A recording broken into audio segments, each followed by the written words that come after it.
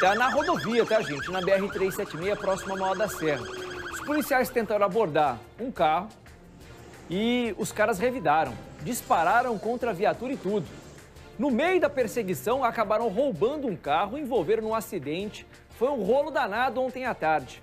Wesley Lemos tem as informações pra gente, até porque ele conversou com o Coronel Vila, que participou do trabalho de buscas aos caras que atiraram na viatura, né, Wesley?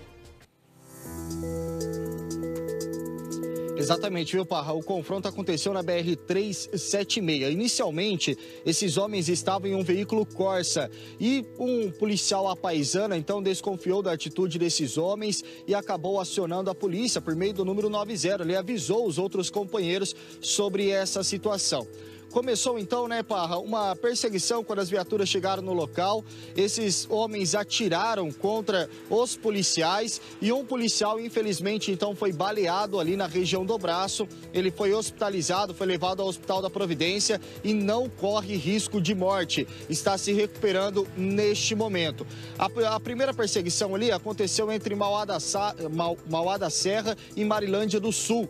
Logo depois, esses criminosos abandonaram esse primeiro veículo veículo, abordaram um homem, então, no meio da rodovia que estava com um veículo Paraty e roubou este automóvel. Eles roubaram este automóvel e continuaram, então, a perseguição.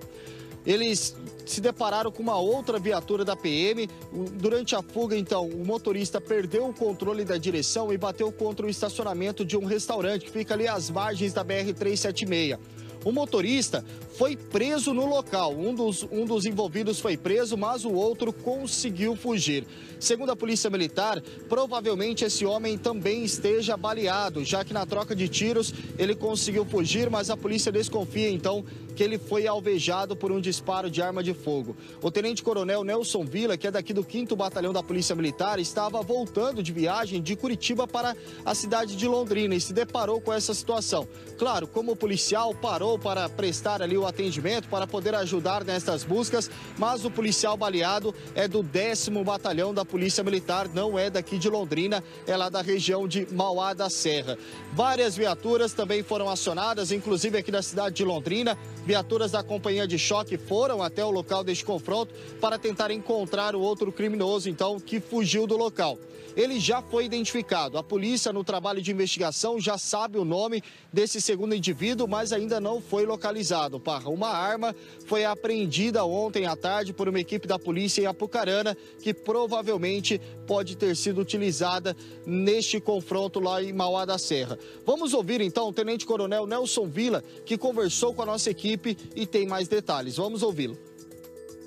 Vindo de Curitiba, onde estava resolvendo questões operacionais e administrativas do batalhão, nós passávamos pelo local no exato momento do acontecimento apenas participamos das buscas e das diligências. Durante a fuga, o indivíduo foi deixado e o outro acabou é, se deparando com uma viatura da sexta Companhia Independente, que fazia lá o cerco sentido faxinal. Iniciou-se esse acompanhamento tático e o indivíduo bateu a Paraty, próximo à Polícia Rodoviária, num posto que lá existe, e aí esse indivíduo foi preso. O segundo cidadão, segundo consta, foi levado por alguém para uma outra cidade, foi realizada a diligência, uma arma foi apreendida né, pelo pessoal do 10 Batalhão em conjunto com outras unidades, e agora, já de posse da identificação do que se evadiu, estamos tentando fazer diligência para capturá-lo.